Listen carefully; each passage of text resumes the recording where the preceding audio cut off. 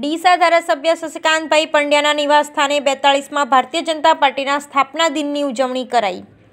વિશ્વની સૌથી મોટી પાર્ટી ભારતીય જનતા પાર્ટીના આજે બેતાળીસમાં સ્થાપના દિવસની ડીસાના હિન્દુ હૃદય સમ્રાટ ધારાસભ્ય શશિકાંતભાઈ પંડ્યાના નિવાસસ્થાને ઉજવણી કરવામાં આવી હતી, જેમાં ડીસા નગરપાલિકા પ્રમુખ રાજુભાઈ ઠક્કર, ઉપપ્રમુખ સવિતાબેન હરિયાણી, ડીસા શહેર ભાજપ પ્રમુખ પ્રતિકભાઈ પટિયાર મહામંત્રી હકમાચી જોશી, રાકેશભાઈ પટેલ, બનાસકાંઠા ભાજપ ઉપપ્રમુખ કૈલાસભાઈ ગેલોત, નગરપાલિકા sanitation chairman Sangitaben Prakashbhai Dave, light શાખા ચેરમેન પૂનમબેન પ્રશાંતભાઈ ભાટી, સમાજ કલ્યાણ શાખા ચેરમેન નયનાબેન સોલંકી, ભૂગર્ભ ગટર યોજનાના ચેરમેન શૈલેષભાઈ રાજગોર તેમજ ભારતીય જનતા પાર્ટીના યુવા મોરચાના અને શહેર સંગઠનના વિશાળ સંખ્યામાં કાર્યકરો હાજર રહ્યા હતા. આ પ્રસંગે ધારાસભ્ય શશિકાંતભાઈ પંડ્યાએ જણાવ્યું હતું કે કેન્દ્રમાં માન્ય અટલ બિહારી વાજપેયીની, જીની સરકારથી લઈ નરેન્દ્રભાઈ મોદીની સરકાર સુધી ભારતીય જનતા પાર્ટીની સરકાર તરફથી ગરીબી મધ્યમ વર્ગના નાના વેપારીઓ તેમજ દેશના છેવાડાના માનવી સુધી લોકહિતના કાર્યો કરી તેમજ દેશની અખંડિતતા રાખવા માટે જમ્મુ કાશ્મીરમાંથી ત્રણસો સિત્તેરની કલમ હટાવી તેમજ વર્ષોથી વિવાદિત અયોધ્યા રામ મંદિરના પ્રશ્ન અને ઉકેલ લાવી ભવ્ય રામ મંદિરનો જીર્ણોદ્ધાર કરી કાશી વિશ્વનાથ મંદિરની કાયાપલટ કરવી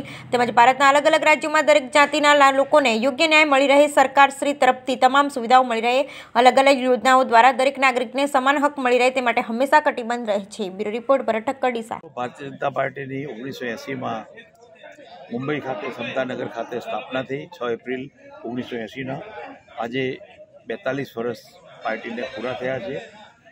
ત્યારે અટલજીએ કીધું હતું, સૂરજ નીકળેગા, કમલ ખીલેગા. મિત્રો, ભારતીય જનતા પાર્ટીનો જે ઉદય થયો એ દિવસે એ વખતે ઓગણીસો સત્તોતેરમાં જ્યારે મોરારજી દેસાઈની સરકાર બની જનતા પક્ષની, ત્યારબાદ સંજોગો વસાત ભારતીય જનતા પાર્ટીની સ્થાપના કરવાનું ઓગણીસો એંસીમાં થયું, અટલજીના અધ્યક્ષસ્થાને ત્યારે મિત્રો સમતાનગરમાં સ્થાપના થઈ. પાર્ટી અનેક ચડાવ ઉતરાવ જોયા.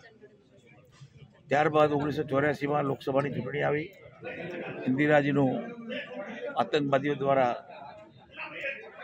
અવસાન કરવામાં આવ્યું.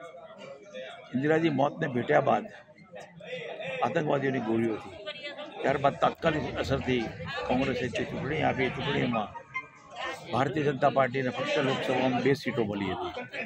એક મહેસાણાની હતી અને બીજો આંધ્રપ્રદેશમાં એન્ટી રામારાવના સહયોગથી હતી.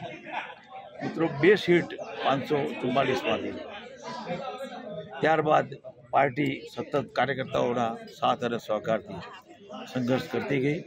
અને અત્યારે વર્તમાન સ્થિતિમાં આપ જુઓ છો, સ્પષ્ટ બહુમતી સાથે ભારતીય જનતા પાર્ટી સત્તામાં છે. અને ભારતીય જનતા પાર્ટી બે હજાર ચૌદમાં સત્તામાં આવી સ્પષ્ટ બહુમતી સાથે એકલા હાથે પાર્ટી બસો બ્યાસી સીટો સાથે સ્પષ્ટ બહુમતી સાથે આવી.